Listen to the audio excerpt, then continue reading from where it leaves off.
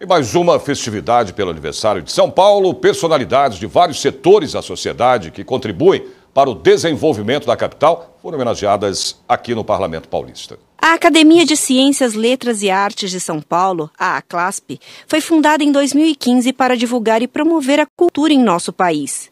E desde então, vem reconhecendo o trabalho de artistas, empresários e outras personalidades. O Prêmio Cidade de São Paulo foi criado para prestigiar manifestações culturais e artísticas e também para reconhecer aqueles que promovem o desenvolvimento da cidade de São Paulo. Vivemos num país que, infelizmente, as pessoas são valorizadas pelo que têm e não pelo conhecimento que divulgam. Né?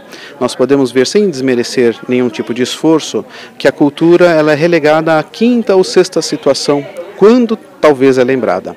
A nossa ideia é reverter esses valores, colocar a cultura, o conhecimento, os bons modos culturais como prioridade para a sociedade e dela, desse, dessa cultura, decorrer todo o resto. Um dos agraciados com homenagem da ACLASP foi o empresário Alain Mendonça. É de suma importância receber um prêmio de reconhecimento pelo trabalho feito, que exercemos tanto em São Paulo quanto nos demais estados. Temos um representante fixo em Miami, temos 17 estados brasileiros. Então, esse reconhecimento é muito importante para o crescimento e, e saber que o nosso produto é de qualidade está agradando a todos. Para o presidente da Academia de Ciências, Letras e Artes, destacar boas práticas estimula artistas e empresários para melhorar a cidade em que vivemos. Ganhar o prêmio, ser homenageado em vida, é a melhor coisa que tem, porque a pessoa até ganha um ânimo a mais para continuar fazendo o trabalho, do que muita gente homenageada depois que morre. Aí não...